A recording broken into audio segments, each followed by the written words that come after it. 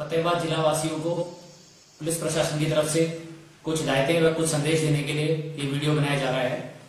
आप सभी को जैसा कि मालूम है कोरोना वायरस के संक्रमण को रोकने के लिए प्रशासन द्वारा बहुत सारे कदम उठाए जा रहे हैं। उसमें हम आपके सहयोग की उम्मीद करते हैं।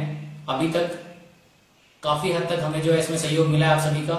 उसके लिए जितने भी आ, हमारे हेल्थ डिपार्टमेंट के लोग काम कर रहे हैं पुलिस विभाग के भी लोग काम कर रहे हैं, प्रशासन के अलावा जो भी संगठन इसमें अपनी मदद दे रहे हैं, चाहे वो मीडिया का, मीडिया के कर्मचारी हों, चाहे वो हमारे बिजली विभाग के भी हों, सभी विभाग के जो कर्मचारी मिलकर काम कर रहे हैं, उसमें जनता का बहुत हमें भरपूर सहयोग मिल रहा है। लेकिन इसके साथ साथ अभी भी कहीं कहीं देखा जा रहा है कि नियमों के, नियमों का उल्लंघन किया जा रहा है। उसके लिए मैं आपको बता देना चाहूँगा कि कोरोना वायरस के संक्रमण को रोकने का एक ही इलाज है और वो है सोशल डिस्टेंसिंग।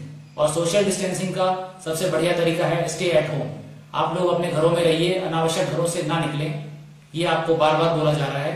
फिर भी अगर आपको इजेंशियल कॉमोडिटीज जो आवश्यक वस्तुएँ हैं, रोज़मर्रा की, उनको लेने के लिए घर से बाहर निकलना है तो सोशल डिस्टेंसिंग को मेंटेन करें। कम से कम डेढ़ मीटर की दूरी बनाए रखें। दुकानों के सारी दुकानें जो हैं, जहाँ पर की, परचून की दुकानें हो, चाहे केमिस्ट केमिस्ट शॉप हो, चाहे दूध की डेयरी हो, चाहे सब्ज़ी, फल की दुकानें हो, सभी खुली हुई हैं।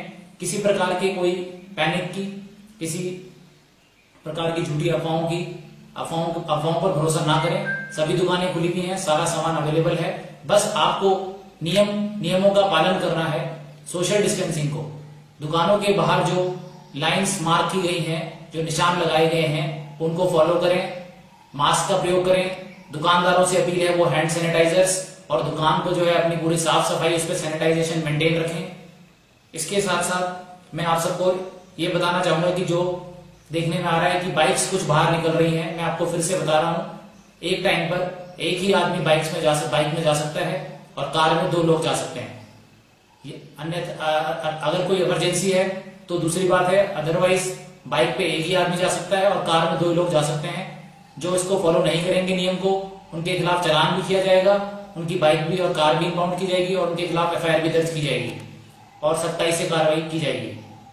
इसके साथ साथ मैं आपको बताना चाहूँगा कि हमारे फतेहाबाद शहर में, फतेहाबाद ज़िले में बल्कि अभी तक कोई भी कोरोना वायरस का पॉजिटिव केस नहीं आया है। इसलिए अफवाहों पर ध्यान ना दें। किसी प्रकार की अफवाह अगर आपके पास आती है व्हाट्सएप के माध्यम से या किसी और माध्यम से, तुरंत प्रशासन को इसकी सूचना दें। आप डायरेक्टली मेरे मेरे सरकारी नंबर पर, मेरे फ़ोन पर मोबाइल पर कॉल कर सकते हैं, जिसका नंबर है अठासी एक सौ चालीस ग्यारह सात सौ। Double eight one four zero double one seven double zero double eight one four zero double one seven double zero आप मुझे कॉल कर सकते हैं। बाकी हमने जो अपने हेल्पलाइन नंबर जारी किए हुए हैं, उन पर फ़ोन कर सकते हैं। किसी भी प्रकार की अफवाहों पर ध्यान ना दें।